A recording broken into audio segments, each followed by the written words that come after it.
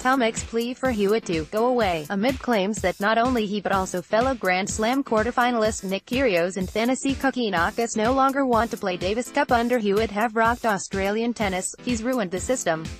Tomic said after his first-round Australian Open loss to Marin Cilic.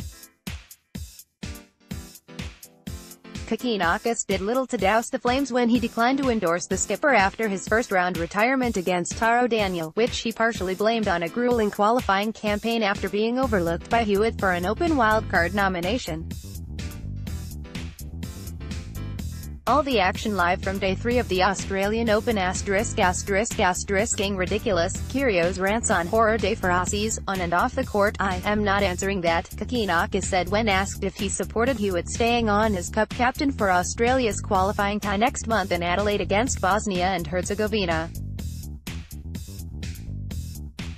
Australian number 3 Matt Ebden, overlooked for September's World Group playoff loss in Austria, also raised concerns over Hewitt's captaincy credentials. Ebden said, there's clearly some issues that need to be addressed with the players in Tennis Australia, with Davis Cup and the players and the group as a whole. Kyrgios take on Tomic Rant 058 but Newcombe, who first introduced Hewitt to the Davis Cup fold as an Orange boy back in 1997, is urging the former world number one to stick to his guns and continue driving a cultural change in Australian tennis. Newcombe applauded Hewitt for rewarding hard workers with cup selection and Grand Slam wildcards, rather than picking players on reputation. I think Lleyton's doing an unbelievable job, Newcombe told AAP. I said to Lleyton the other day, things that are being said and all that, take the high ground. Aussie stumble on day 2105, you don't have to defend yourself. Everyone sees what you're doing out there.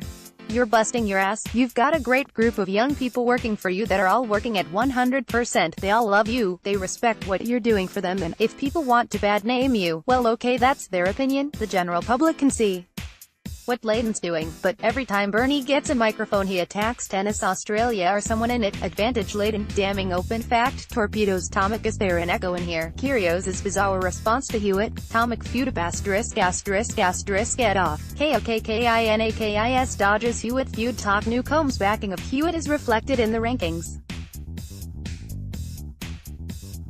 Alex de Minaur, John Millman and Jordan Thompson, who led Australia in September's World Group playoff in Austria, are now all ahead of Kyrgios, who is projected to slide to number 67 in the world after his earliest Open exit in six appearances.